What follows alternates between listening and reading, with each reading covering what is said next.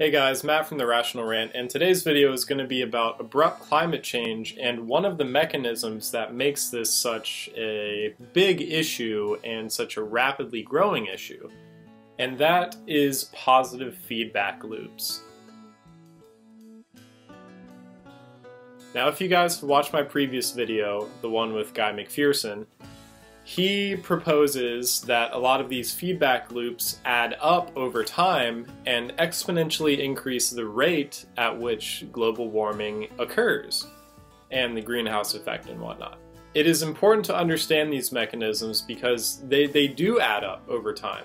A lot of them are pretty easy to explain, but there are around 60 to 65 big mechanisms that have been identified throughout peer-reviewed climate change uh, papers and a lot of them are they're mm, they're pretty shocking. I don't know how else to put it, but one of the biggest positive feedback loops that I can identify is the melting of the Arctic and Antarctic sea ice. Now, this might seem pretty trivial and pretty obvious, but why this is such a big issue is due to the consequence of this feedback occurring.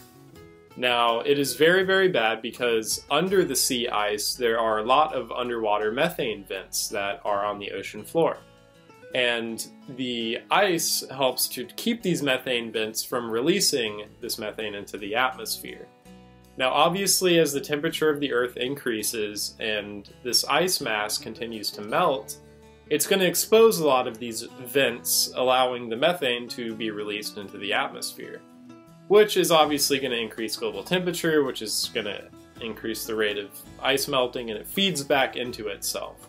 Hence the name positive feedback loop. Or uh, it's a self-reinforcing feedback loop if you want to use a different term. Now that is only one mechanism. Another one is the moistening of the upper troposphere. As the planet gets hotter, there's going to be more water that is going to be evaporated into the atmosphere. And water vapor is a pretty, pretty greenhouse intensive gas. And obviously, since more water is going to be evaporated, the upper troposphere is going to get more moisturized, and as that occurs, it traps in more solar radiation, which is going to further increase the temperature on the surface of the planet. And I, I bet you guys can see how these kind of feed back into each other. Another one is in the Amazon rainforest.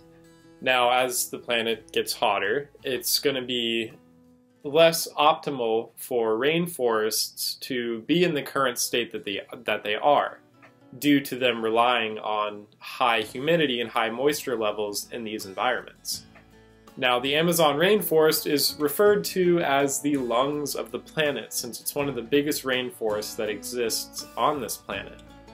And since the planet is getting drier, the Amazon rainforest has been going through a pretty big drought the last couple years.